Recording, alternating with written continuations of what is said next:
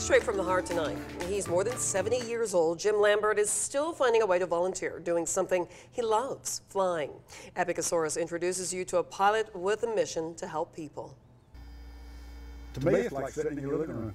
In the cockpit of his plane, From Macon, that's where Jim Lambert feels most comfortable. My wife will tell you that any pilot is looking for any reason in the world to fly. Back in the early 90s, his first wife needed an organ transplant.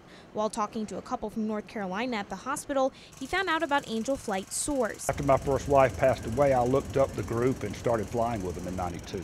Pilots like Lambert donate their plane, time, and fuel to help families in need. In the 36 years since Angel Flight Soars has been around, they've been able to help over 39,000 people. Lambert says since he started flying in 1992, he's been able to help hundreds, if not close to a thousand people. He's helped kids like Alex, who suffered severe burns when he was just five years old. As bad as he was after the fire, to see where he is today is amazing.